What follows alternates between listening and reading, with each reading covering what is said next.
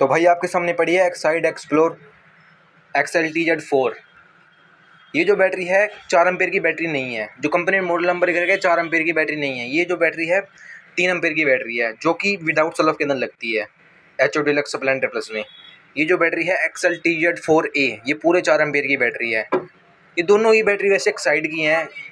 ये जो रेट है रेट का फ़र्क आ जाता है। ये हमें ओल्ड बैटरी रिप्लेस के साढ़े आठ सौ रुपये की पड़ जाती है, और ये बैटरी जो है, हमें ओल्ड बैटरी रिप्लेस करके नौ सौ रुपये की पड़ जाती है। गारंटी वारंटी वैसे दोनों की सेम है।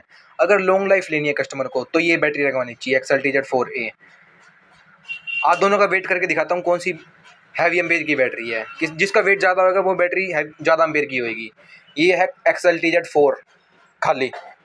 इसका है डेढ़ किलो वज़न। अब वेट करेंगे XL T Z four A का।